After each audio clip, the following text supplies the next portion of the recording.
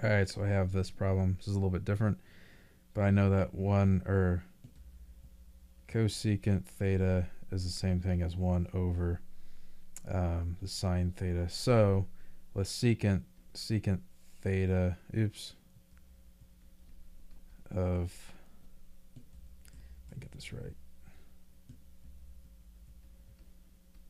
This is difference formula, so I'm going to get secant cosine, so same thing as 1 over cosine theta minus pi over 2.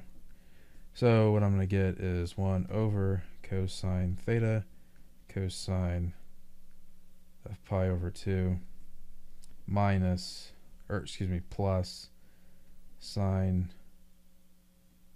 of theta times sine of pi over 2. And what I get is um, cosine of pi over 2 is equal to 0. So, well, hold on. So cosine theta times 0. So it just cancels it out. Doesn't matter what cosine theta is. And then plus sine of, they said cosecant of theta is equal to negative uh, 1.24. So just that.